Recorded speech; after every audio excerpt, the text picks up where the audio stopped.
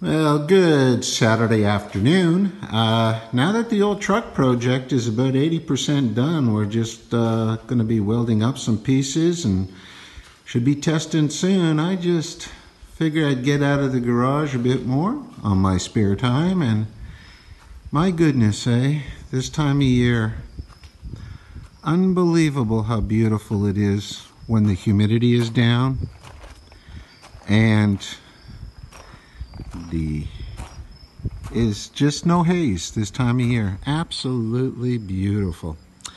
Anyway, hope you guys are having a good weekend and getting ready for holiday time, however you choose to spend it. It's old Barry and Liane wishing everybody the best.